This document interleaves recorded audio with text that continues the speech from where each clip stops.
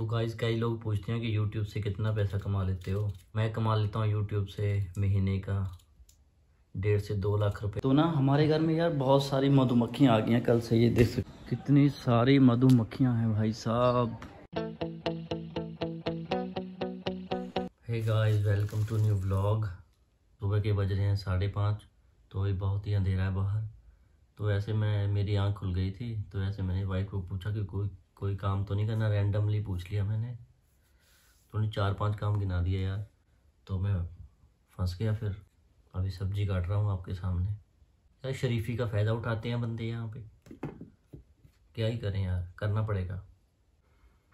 यार कुछ लोग सोचते होंगे कि बंदा ये क्या करता रहता है यूट्यूब पे मतलब वीडियो बनाता है यूट्यूब पे अपलोड करता रहता है। कभी काम करता है, कभी तो फॉर योर काइंड इन्फॉर्मेशन जो ऐसा सोचता है उनको बता देना चाहता हूँ कि यूट्यूब से पैसा भी कमाया जा सकता है। तो इसमें मैं कुछ गलत नहीं कर रहा हूँ। काम तो सभी करते हैं अपने घर का।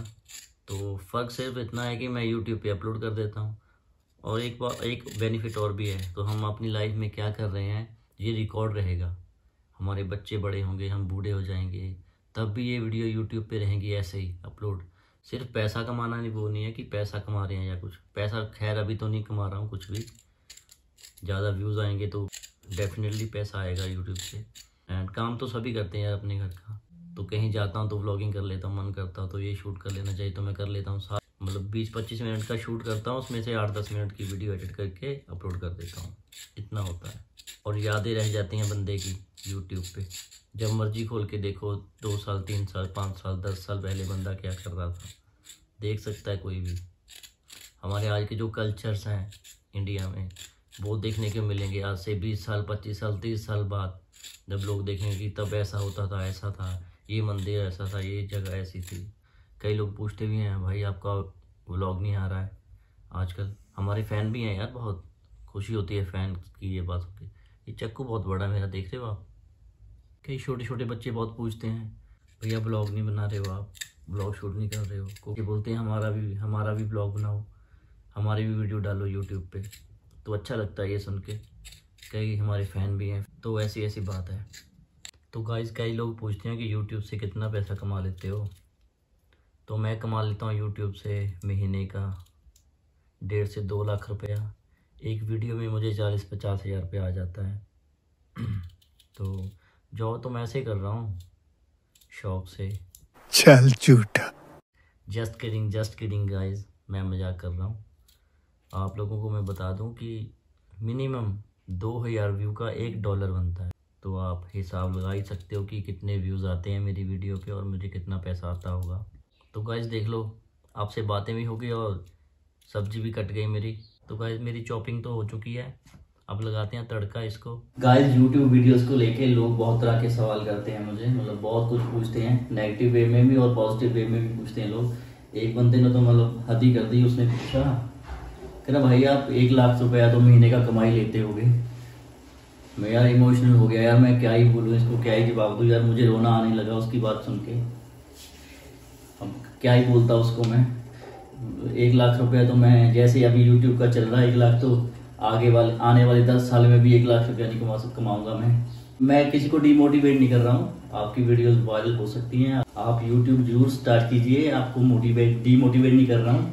तो हर किसी का चैनल ऐसे नहीं है कि ग्रोथ ना करे, आपका चैनल बहुत ज़्यादा ग्रोथ कर सकता है कम में, और एक वीडियो में ही एक लाख रुपया कमा सकते हो आप। अगर ज़्यादा व्यूज़ आ गए आपके तो अभी लगाते हैं तड़का गाय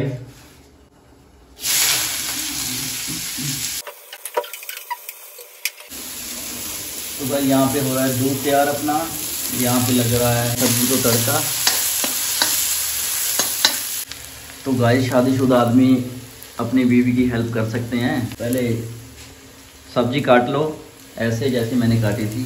फिर प्याज काट लो, लहसुन काट लो, फिर उसके बाद एक कढ़ाई में तेल को गर्म करो और तेल गर्म होने के बाद उसमें प्याज और उस प्याज और लहसुन डाल दो।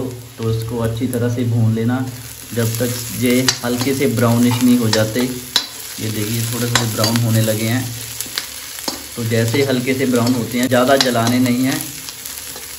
तो हल्के से ब्राउनिश करके इसको आप जब ये ब्राउनिश हो जाए तो इसमें जीरा वगैरह भी डाल सकते हो आप हिंग भी डाल सकते हो उसके बाद ये सब्ज़ी डाल देंगे इसमें। तो ऐसे सब्ज़ी हमारी बन के तैयार हो जाएगी पंद्रह बीस मिनट में। मालूम है तेरे बाप को मत सिखा चल। तो ये है गाइस दूध चाय पंजीरी पार्टी। तो मेरे लिए है चाय पंजीरी गीशु के लिए है दूध। तो गाइस हमारी सब्ज़ी बनके तैयार हो चुकी है। ऊपर से डाल रहे हैं हम धनिया। स्वाद के अनुसार आप डाल सकते हो। ये बन गई हमारी टेस्टी गाजर आलू मटर की सब्ज़ी। तो गाय चाय पार्टी तो हो चुकी है। तो ना, हमारे घर में यार बहुत सारी मधुमक्खियाँ आ गई हैं। कल से ये देख सकते हो, दिखाता हूँ आपको।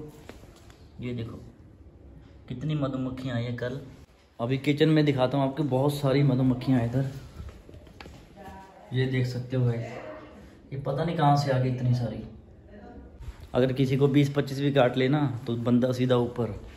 और दिखाता हूँ आपको, ये देखो, सीढ़ी में। सब जगह है।